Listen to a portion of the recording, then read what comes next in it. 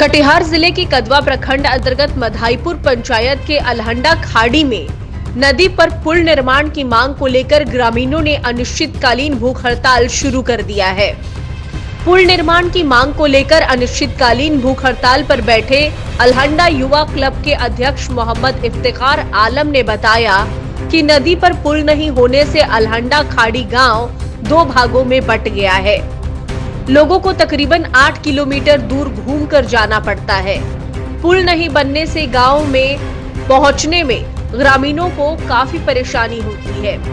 नदी पर पुल निर्माण को लेकर कई बार विधायक और सांसद को आवेदन देकर गुहार लगाई गई, लेकिन केवल आश्वासन ही हाथ लगा।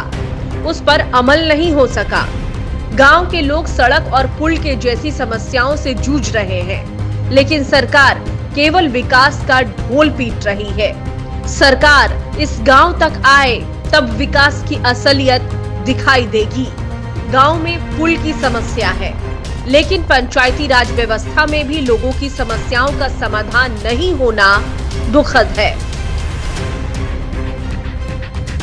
सारे ग्रामीण शामिल हैं, क्योंकि सब कोई इस ज़रूरत को महसूस करते हैं कि जब तक हम आने वाली नस्लों को कुछ दे करके जाएँगे, क्योंकि हम जो है 1821 में नहीं 2021 के ज़माने में जी रहे हैं। दुनिया कहाँ से कहाँ पहुँच गई लेकिन हम बुनियादी सुविधाएँ से क्यों वंचित रहेंगे? हमारे बच्चे कब तक पंजाब दिल्ली में जाके मजदूरी करते रहेंगे?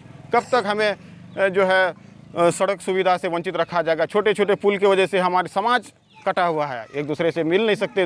दुख मुसीबत में अगर किसी को डिलीवरी वाला केस हो जाए इमरजेंसी केस हो जाए तो आठ सात किलोमीटर आठ किलोमीटर दूर से घूम करके जाना पड़ता है। वहीं ग्रामीणों ने चेतावनी दी है। कि जब तक नदी पर पुल निर्माण की मांग पूरी नहीं होती है, तब तक भूख हड़ताल जारी रहेगा। कमल कुमार, मैं तो बलिया बेलौन।